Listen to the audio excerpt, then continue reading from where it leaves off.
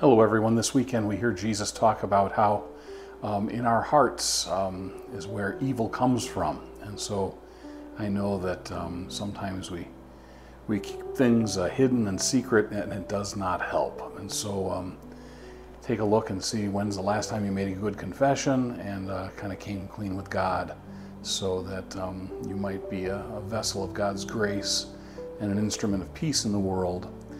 Um, this weekend, you know, as we celebrate the uh, Labor Day holiday on Monday, I want to remind you that Monday morning Mass is at 9 a.m., not 7.30, and the office will be closed as well in honor of the holiday.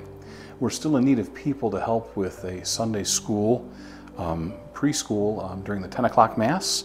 We could still use some help with the Life Teen Core and confirmation small group leaders. So still, please pray about that if you are able to help facilitate those small groups. Um, the opportunity is still there for Rediscovering Prayer, a series uh, that starts on Monday, September 9th. Right now, nobody signed up, so if nobody signs up, it's not going to happen. I want to remind you too that Saturday the 14th is the Women's Renewal Day. There are already 20 folks signed up, so please sign up if you want to uh, be there because when they hit a certain number, it will be cut off. The um, this week, Friday, we'll have First Friday visits as well as uh, adoration of Blessed Sacrament from 7:30 on Friday evening through the night and morning until benediction at 7 a.m. Uh, music ministry is going to be starting up. Our adult choirs, children's choir, and the bell choir. So we pray for all those musicians.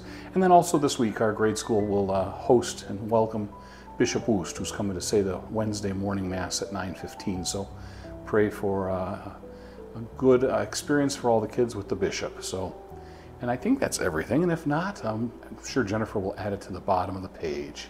Have a wonderful weekend, everyone.